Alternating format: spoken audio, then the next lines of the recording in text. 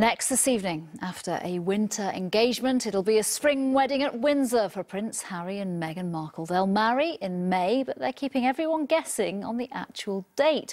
The Queen has given permission for them to marry at St George's Chapel at Windsor Castle. Olivia Kinsley reports on the small town already gearing up for the big day. As they plan their wedding, Prince Harry and Meghan Markle will have to make many decisions. But already two of the biggest have been ticked off the list. The month will be May next year, exact date to be decided, and the location Windsor Castle in St George's Chapel. Hearing the news today, some were more than a little excited. Fantastic! I would just love that because we'd all be here to wish them well. Next May. We'll definitely be around for that. Royals. I can't wait.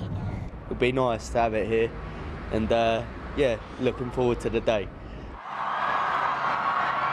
They could have chosen a London wedding like Prince William and Kate six years ago at Westminster Abbey. But marrying there may have felt for Harry like he was following just a little too closely in his big brother's footsteps. Their parents, Princess Diana and Prince Charles, chose St Paul's Cathedral to begin their ill-fated marriage, but that history made it an unlikely option.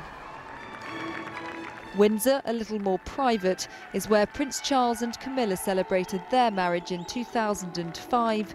And earlier today, the Duchesses of Cornwall and of Cambridge both spoke of their excitement.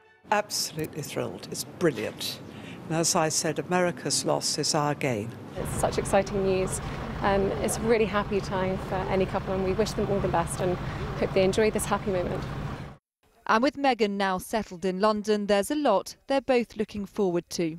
I'm excited to just really get to know more about the different communities here, smaller organizations who are working on the same causes that I've always been passionate about under this umbrella. There's a lot to do. There's a lot to do. For the happy couple and for Windsor, it's going to be a whirlwind few months. Olivia Kinsley, ITV News. OK, here to talk more about the Windsor wedding, Royal Historian Professor Kate Williams joins me now. Lots of excitement in Windsor already, understandably. Who will have been behind the scenes making that decision on Windsor? This will have been a long planned operation. Prince Harry said that he got engaged to Meghan Markle earlier this month, hmm. but that would already have been on the basis that he asked the Queen for permission. And also, as soon as he asked the Queen for permission and she says yes, this sets in motion a huge amount of planning. The questions should it be Westminster Abbey? Should it be the St George's Chapel, Windsor. St George's Chapel, Windsor has been chosen, and I really think one of the key reasons is because it's going to be much easier for the Queen and the Duke of Edinburgh to get there, much more pleasant. But what it does mean is it'll be a very small wedding. It's a very small venue, so yeah. some of the glitz and glamour that people were talking about the last couple of days, Barack Obama, and Michelle Obama, probably not likely to happen. Much more an intimate family wedding yeah, um, with no balcony photo call. It'll be oh, different. Oh, OK, and from the public's point of view, if we, if we think back to April 2011 and those incredible scenes in Hyde Park, along the Mall as well.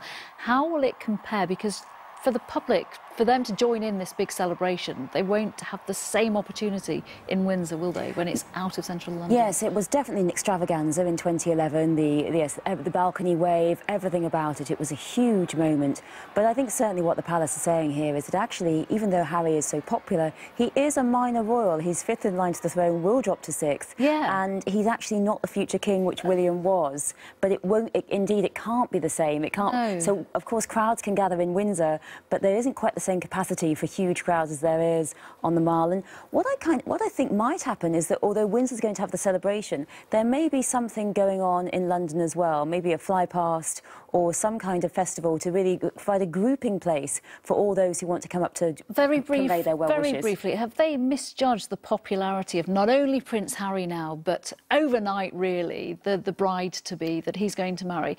And although we know he's fifth to be sixth in line to the throne, it won't have that same sense of occasion if it is in Windsor. It won't have that same sense of occasion. Prince Andrew married in Westminster Abbey, it's possible. But I think the problem is with the Royals, either the venues are huge or small. We need a midway venue. But certainly I think some people will be disappointed. But on the other hand, this is really about Prince Harry and Meghan saying the big thing isn't the wedding. It's not the dress. It's not the wedding. It's our future royal partnership and making the world a better place, which is clearly what they hope to do.